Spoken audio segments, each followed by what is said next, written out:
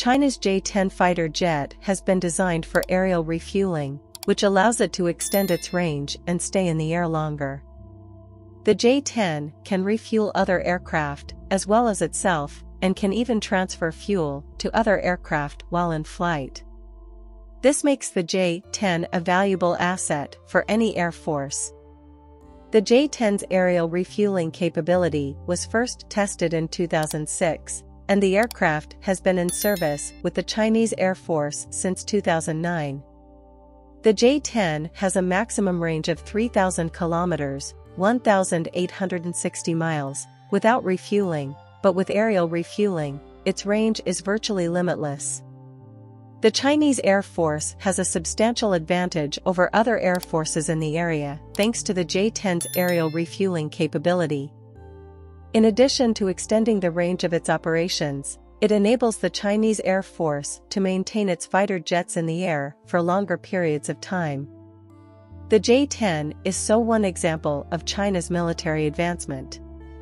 Experts said the recent aerial refueling drills for the J-10 fighter jet by the Chinese People's Liberation Army's newest large tanker aircraft further demonstrated the tanker's adaptability after it previously demonstrated compatibility with the J-20 and J-16 fighter jets. A group of J-10 fighter jets received hot pit refueling and maintenance on the ground without stopping their engines, while another group of J-10 fighter jets met up with a Y-20 tanker aircraft in the air and received aerial refueling, according to reports from China's Central Television on Monday. The drills involved long-range maneuvering aerial refuel and land attack. According to the report, J-10 fighter jet variants took part in the training. Hot pit refueling and aerial refueling are two methods used to reduce the time it takes for aircraft to return to combat. The entire practice session, which covered the plains of North China and maritime regions, lasted around 20 hours. An anonymous Chinese military specialist told the Global Times on Monday. The majority of an aircraft's systems are kept running during a hot pit refueling, which may also involve reloading ammunition, so that the aircraft is prepared to take off as soon as the process is finished.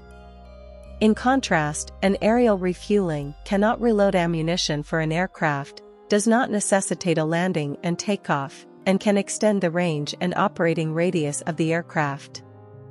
Additionally, this is the first time an official report has shown a Y-20 hosting an aerial refueling for a J-10 and an Y-20 using its refueling point on its tail in an aerial refueling. The PLA Air Force earlier displayed the Y-20 hosting aerial refueling for J-20 and J-16 fighter jets with refueling stations under its wings, according to onlookers. The J-10 is not the only Chinese fighter jet with aerial refueling capability. The country's newer J-20 stealth fighter also has this capability. However, the J-10 is the only Chinese fighter jet that can refuel other aircraft in flight.